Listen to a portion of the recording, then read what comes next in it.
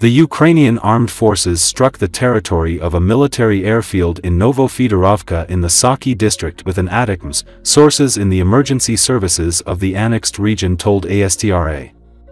As a result, the ammunition was hit, and a fire broke out. Two servicemen were injured, they received shrapnel wounds. In addition, an ATACMS missile also hit the location of the Russian air defense 5 kilometers from the village of Shelkovichnoye in the Saki district. As a result, the radar station was destroyed. In total, according to sources, the Ukrainian armed forces struck Crimea with four ATACMS missiles, two of which were shot down.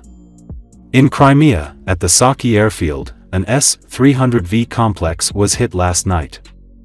This complex, consisting of 9 S-19 type radar, 3 9A-84 type launchers, 1 9A-83 type launcher was in an deployed state. It was either operational or was being restored for further use.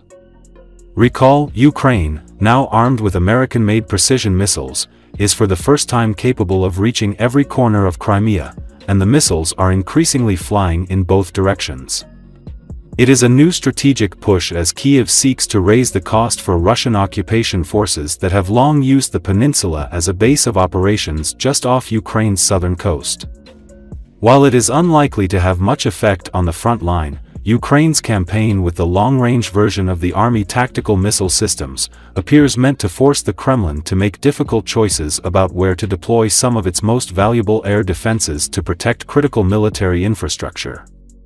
Since the arrival of the ATACMS this spring, the Ukrainian military has claimed to have destroyed or damaged at least 15 Russian long-range air defense systems in Crimea. Among those are the powerful S-300 and S-400 batteries, Moscow's version of the American Patriot air defense system.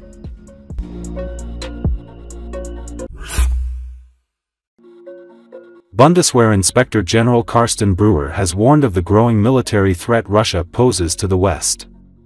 We are seeing that the Russian army is orienting itself towards the West, he said in an interview with the Sächsische Zeitung newspaper, as quoted by the DPA news agency.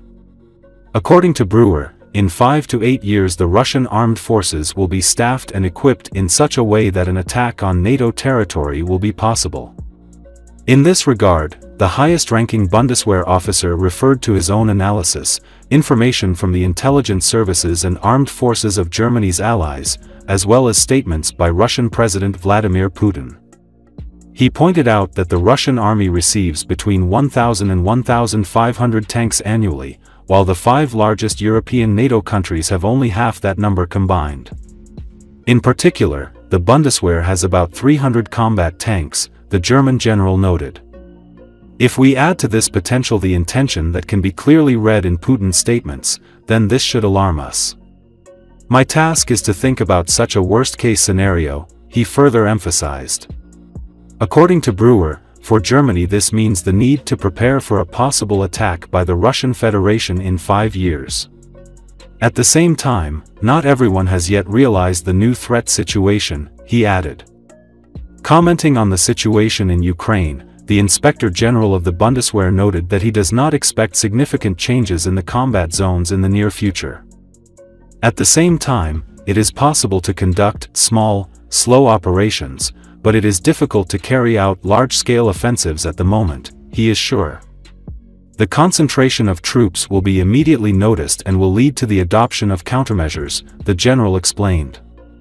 At the same time, the country that suffered from the Russian invasion still depends on the help of its partners, he recalled.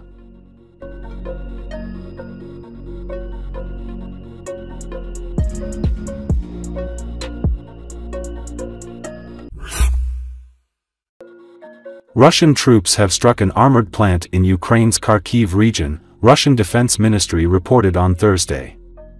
Russia's Iskander-M operational tactical missile system launched a group missile strike against the Kharkov armored plant, the Defense Ministry's press service reported.